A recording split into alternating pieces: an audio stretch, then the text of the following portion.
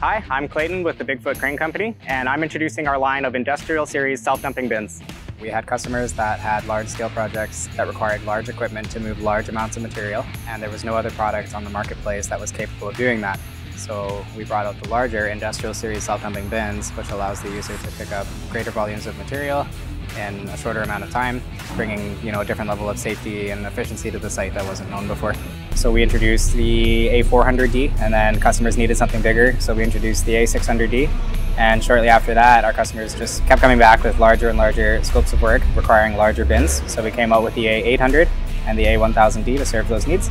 And even today, we have customers looking for larger equipment, and we're only going to expand the, the series as time goes on and look at ways at advancing it in different ways for different applications. These kind of bins are being sold primarily to heavy civil projects, projects using large equipment such as large cranes, as well as into industries using overhead cranes, steel mills, any sort of mill environment, places where they're trying again to move large quantities of equipment or large quantities of material in as short a span as possible.